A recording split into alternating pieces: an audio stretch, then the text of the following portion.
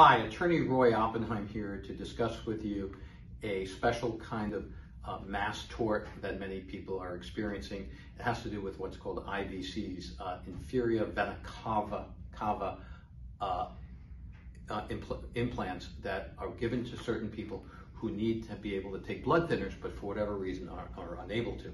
And so these little cage-like devices are, are implanted in one of the main arteries in order to make sure that you don't up uh, having blood clots and, and, subsequently a stroke. The problem with these implants is that over time they fail to work. Uh, they move around. They sometimes attack, uh, literally will, will, will slide up and hit an organ, or they'll dislodge or displace, and they will cause all kinds of problems, and unfortunately, uh, sometimes even, even death.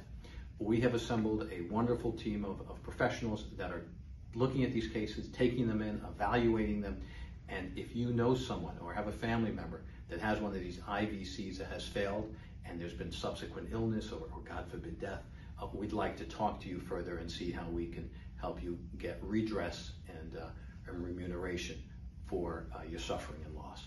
Attorney Roy Oppenheim, look forward to hearing from you. Thank you.